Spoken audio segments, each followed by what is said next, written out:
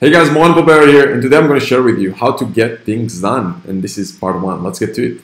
So, hey, if you're new to this channel, my name is Moran Pober, and I'm here to share with you and document my journey in business. I've been involved in many businesses over the last few years, and I'm here to share with you my mistakes, my lessons, things that worked for me, and things that didn't work for me, and hope that you learn. And I'm just here to document what I'm doing. And yeah, if you want to learn more about that, like, subscribe, comment below. Let me know what you think. Um, and there are links in the description below. Join our group on Facebook.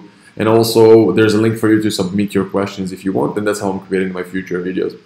And I'm mostly here to show you that there's two ways to grow a business. One of them is organically, and one of them is by acquisitions. Everyone's talking about organic ways, doing more sales and marketing. I'm here to show you that there's another way to do it, which is to go and buy other businesses, either buy your competitors or go and buy complementary businesses to yours. Um, so yeah, that's the introduction. Let's get to it. So today I want to talk about how to get things done, how to be productive, and everyone out there.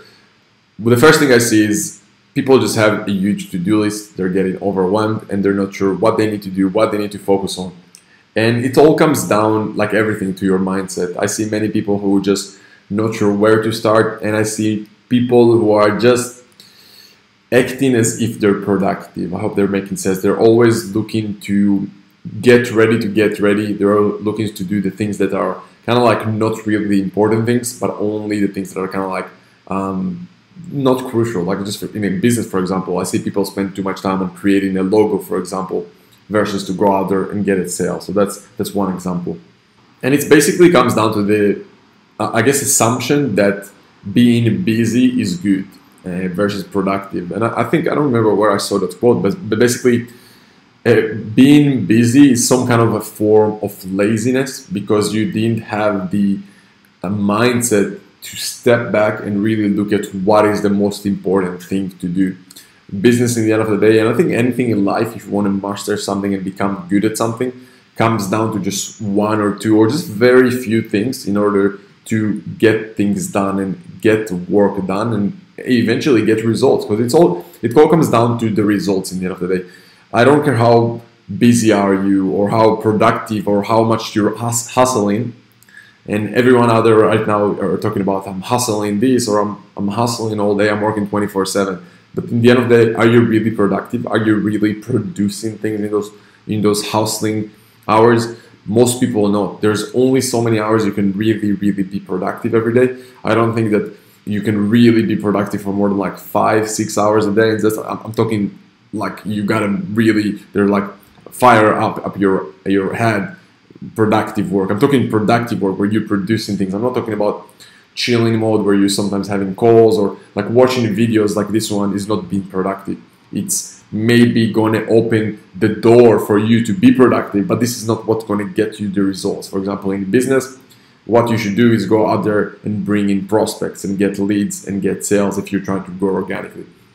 If you try to grow by acquisitions, it's to go and find businesses, it's to go and look for capital, it's to go and evaluate deals. So if you're not doing those activities, everything around it is just acting productive, it's just acting busy, and it's in the end of the day literally being lazy because you can't have a moment to step back and really think about hey, okay what is really important to me? What am i trying to achieve? And what is the end goal here? And i think other than thinking about what are the most important things you need to do in order to achieve an outcome you really need to think about your why. So why so whenever you have a you want to have a goal and then you want to think about what are the most important things and like i said it comes down to really few simple things especially every day. Every day you literally need to wake up or ideally think about it the night before and think okay what are my goals for the next day, for the next week, for the next month, for the next year, for the next 10 years? And what are the one, two things I can do tomorrow in order for me to get to move forward as much as I can towards those goals? And this should be like very few things, not more than like five things a day. Otherwise, you just, it, it makes no sense if there are really productive things. So you have few things, but then you also need to have a, a thought about your why, why those things are important. Because unless you have a purpose behind your actions, you're just gonna go through the motions. You don't have you're gonna you you want to have some kind of a purpose and a driven attitude when you're taking action. Otherwise, you're just gonna chill. You're just like okay, let's do this, let's do that. But when you're thinking about your why, like what's the real purpose of you taking those actions, that's to really make you think okay i want to do this because i want that lifestyle because i want i have that goal because i want to help these people or serve these people or impact that kind of part of the world. When you have those things on the back of your mind first of all it's going to make you more driven and purposeful when you're taking action. But secondly i think it's just going to make things more much more fun versus going through the motion. So with everything you do have a goal have a reason why you're taking those actions towards your goals and then go and implement those things literally like a robot. And don't think about your emotion.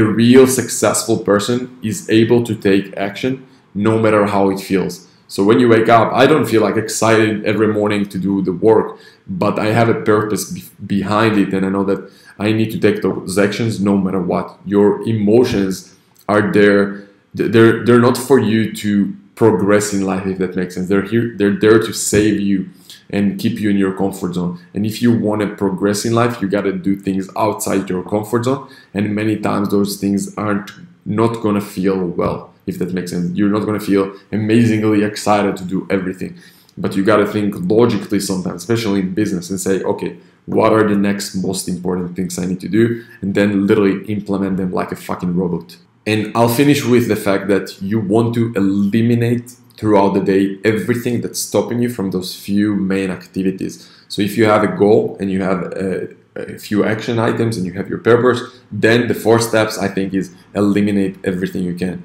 If it means put your phone in an airplane mode, um, I don't know, block every website or even your browser if it's not necessary to your work.